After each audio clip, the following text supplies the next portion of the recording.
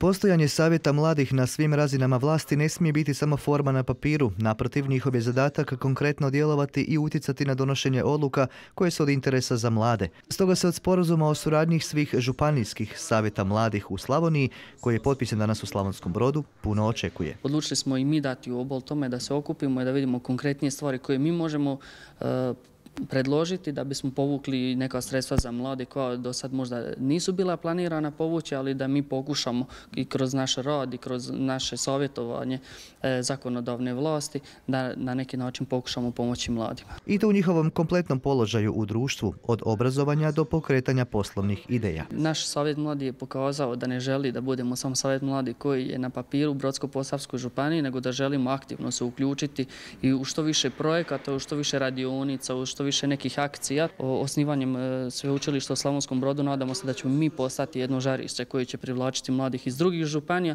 i tu ćemo mi biti kao koordinatori i pomoć našim kolegama iz drugih e, županija i da onda konkretnije pomognemo tim studentima, ali i srednjoškolcima i svim drugim mladima. Mladi se danas nalaze pred brojnim izazovima i ključno je zadržati ih u lijepoj našoj, te im dati vjetar u leđa.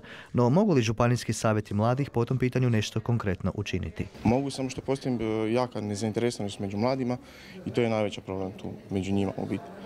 Nadam se da će ovim prijateljstvom i sporazumima to poboljšati pa ćemo vidjeti. Znači mladi idu za nečim što im je bolje. Ja se iskreno nadam da to nije e, nešto što je dugotrajno i mislim da je to sad samo neki trend i možda nešto što je moderno, najlakše reći ja idem i vjerujem kako će se mladi e, u nekoliko sljedećih godina e, vratiti i nešto napraviti za našu, evo kako Slavoniju i Baranju, tako i općenito za cijelu Republiku Hrvatsku. A na tom tragu kaže Dona i ovaj sporazum o suradnji županijskih savjeta mladih ima značajnu važnost. Mogu istaknuti da je Savjet mladih Osječko-Baranjske županije do sada potpisao e, nekoliko sporazuma o suradnji sa različitim e, županijskim savjetima mladih diljem Republike Hrvatske. Mogu istaknuti i Savjet mladih Splitsko-Dalmatinske županije s obzirom da naši mladi iz naše županije, pa tako i svih ovih slavonskih županija često odlaze na sezonski posao baš dole u Dalmaciju i e, te dalmatinske županije. Ono na čemu najviše rade članovi savjeta u Virovitičko-Podravskoj županiji usmjereno je na zdrave stilove života mladih. Sada smo trenutno u fazi e, projekta Mladi za mlade u prevenciji suzbijanju ovisnosti koji radimo znači u, e, suradnji sa Zavodom za zdravstvo Sveti Rok Virovitičko-Podravske županije.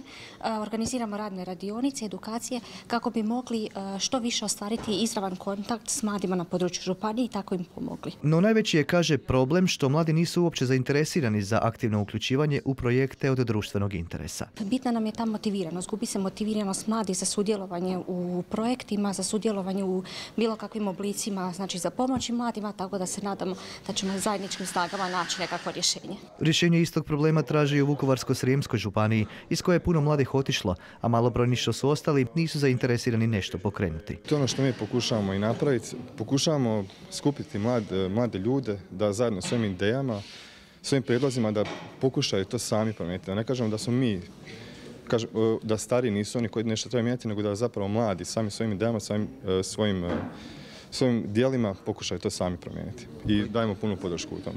Podršku im daju i predstavnici regionalne i lokalne izvršne vlasti. Najbitnije je da kroz ovaj sporazum u aktivnostima Savjeta mladih pet slavonskih županija se promišlja o nastavku E, daljnjeg rada i života i problematici mladih koje u Slavoniji nažalost ne baš u, zavidnom položaju.